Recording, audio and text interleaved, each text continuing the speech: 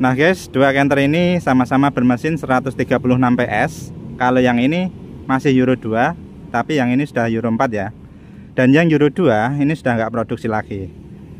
Oke, nanti kita lihat penampakan mesin dan juga kita bandingkan suaranya ya, biar lebih mantap. Kita ke mesin yang Euro 2 dulu. Kalau yang Euro 2, ini kode mesinnya 4D34. Kalau yang Euro 4, 4V21 ya. Dan di sini untuk dieselnya masih konvensional. Dia dari tangki. Untuk tangki 100 liter kapasitasnya, kemudian diteruskan ke water separator, lalu ke injection pump atau bos pump, terus ke filter solar atas, lalu ke injektor. Dan ini masih konvensional, belum dikontrol secara elektronik ya. Nah, tampilan mesinnya seperti ini, guys. Di sebelah sini ada turbo, dan intercooler di depan.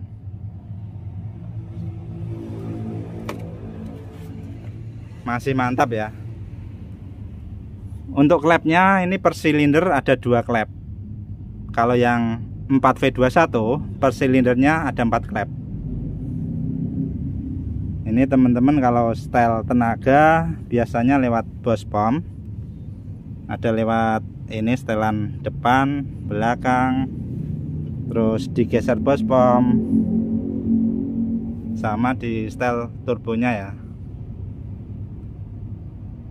Nah kurang lebih seperti ini yang Euro 2 kita ke Euro 4 guys.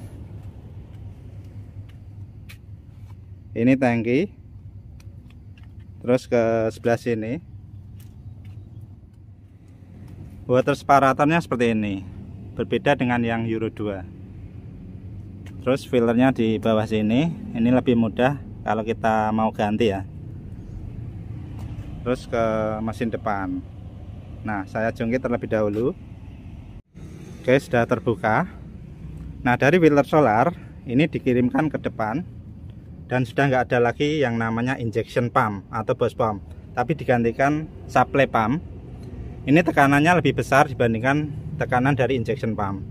Terus dikirim ke rail yang sebelah sini kemudian ke injektor.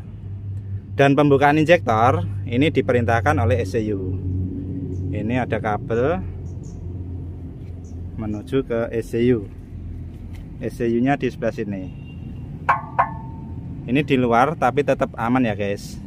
Ini ada air tapi masih istilahnya dia waterproof. Terus untuk baut pengamannya seperti ini dia nggak ada kepala buat ini membuka. Jadi kalau kita pasang ini kepalanya dia langsung lepas. Ini ada banyak sekali. Dan kalau maling mau membuka ini agak kesulitan. Untuk radiator ini kurang lebih hampir sama ya. Tapi yang kipasnya ini mantap sekali dia lebih besar.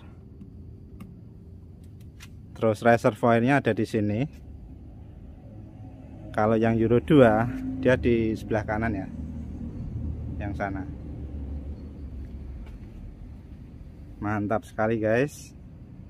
Ini mesinnya sangat seksi. Keren banget. Mesinnya 4V21 2AT1 parah gila keren. Turbonya di sebelah sini kemudian ada kayak peredam. Intercooler di depan. Kita lihat pelan-pelan ya. Ini mesinnya cakep sekali guys. Parah sama-sama 136 PS tapi untuk torsinya dia ini naik 14% naik menjadi 420 Nm. Di 1500 rpm ya. Keren keren. Mantap sekali. Nah di sini ada EGR pipanya dari exhaust. Ini diarahkan ke EGR cooler. Lalu ada EGR motor di sebelah sana. Di sebelah sini ya. Ini biar emisinya dia ramah lingkungan terus lolos Euro 4 dan ditambahkan DOC muffler. Ini yang diesel oxidation catalyst ini buat memecah polutan. Nah yang kita tunggu kita bandingkan suaranya guys. Pasti mantap sekali. Kita starter yang Euro 2 ini sudah saya pastikan transmisinya dia netral. Euro 2 start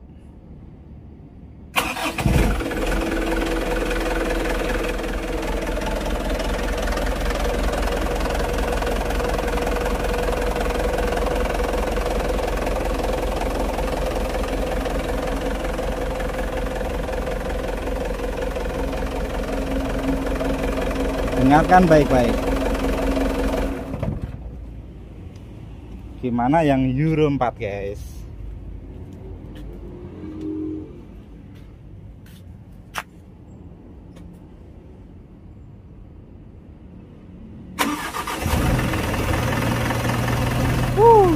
Suaranya khas Euro 4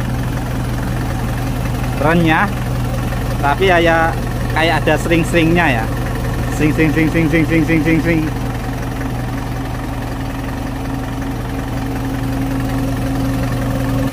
Cakep guys.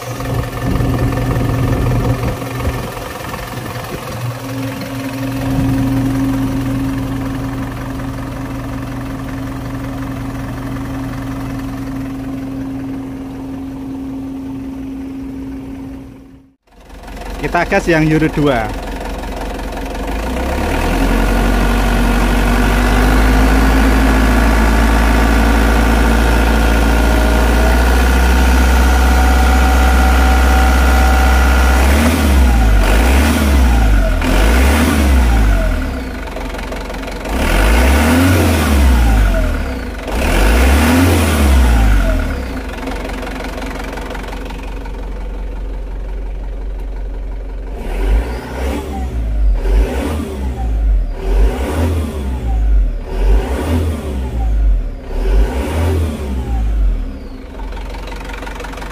waktunya Euro 4 guys.